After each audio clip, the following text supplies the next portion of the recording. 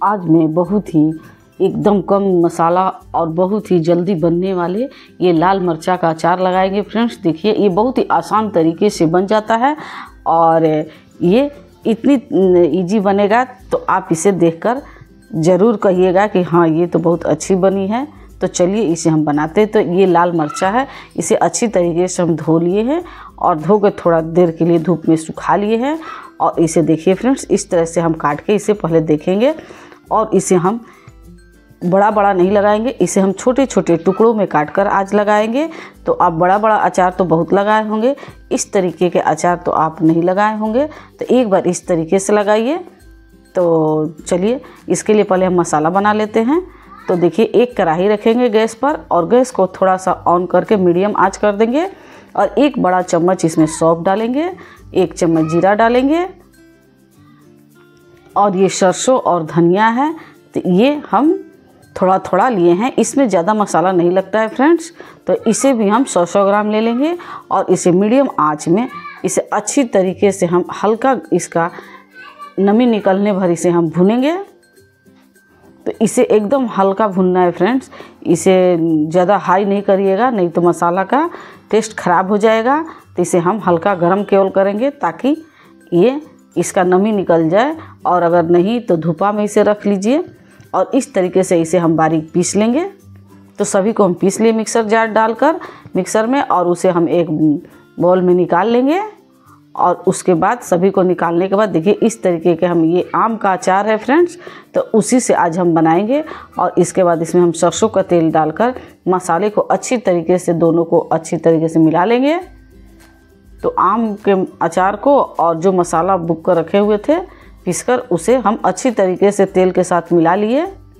देखिए, इसे अच्छी तरीके से अभी ही मिला लेंगे और उसके बाद हम अब मरचा को, जो मरचा रखे हुए हैं तो उसे हम, ये लाल मरचा को सभी का डंठल निकाल कर और इसे हम छोटे छोटे पीस में काटेंगे कि जैसे कि एक निकालेंगे और उसे केवल खा लेना है। लंबा लंबा बनाने से फ्रेंड्स, उसे हम खाने के समय काटना पड़ता है। तो अभी ही हम इस तरीके से छोटे छोटे टुकड़ों में इसे पहले काट लेंगे। इसे बीच से भी, ताकि अंदर तक मसाला इसमें मिल जाए और इस तरीके से हम छोटे छोटे करके सभी को काट लेंगे। तो सभी मर्चा को बीच, पहले बीच बीच भाग काट लेंगे और इसे हम इस तरीके से छोटे छोटे टुकड़ों में इसे काट लेंगे। और काटने के पहले ही इसे मिर्च को अच्छी तरीके से धो लीजिए फ्रेंड्स, ताकि इसका पानी सब सूख जाना चाहिए। पानी इसमें थोड़ा सा भी नहीं रहना चाहिए और इसे आप इस तरीके से अगर ज़्यादा बड़ा है तो उसे आप तीन भाग काटिए और नहीं तो दो भाग काटिए। और देखिए, ये मसाला तो पहले ही हम मिला कर रखे थे। उसमें सारी मिर्चा को हम डाल देंगे। और इस तरीके से डालकर अपने साफ़ हाथों से इसे अच्छी तरीके से हम मिलाएँगे सभी को। और उसके बाद थोड़ा सा और इसमें तेल डालेंगे।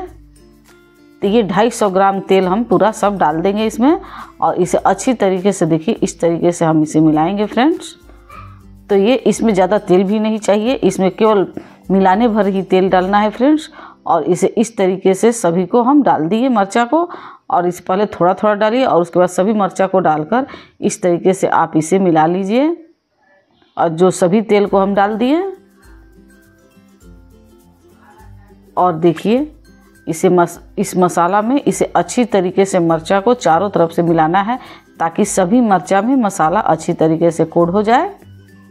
और ये कम मसाला और कम तेल में इतनी स्वादिष्ट ये अचार बनती है फ्रेंड्स तो देखिए, एकदम ये लजीज अचार देखने में कितनी खूबसूरत लग रही है फ्रेंड्स। और बनाने में भी बहुत आसान है तो देखिए, इसे आप इस तरीके से बनाकर और दो से तीन दिन इसी तरह, इसी में आप धूप में दिखा दीजिए और इसे अच्छी धूप में इसे दिखाइए और उसके बाद इसे जार में, सूखा जार में इसे बंद करके साल भर तक से इसे रखिए फ्रेंड्स। ये ख़राब नहीं होती है और बहुत ही शानदार लगती है। तो इसमें ज़्यादा झमेला भी नहीं है कि उसे बड़ा बड़ा करो और ज़्यादा मसाला भी नहीं डालना है।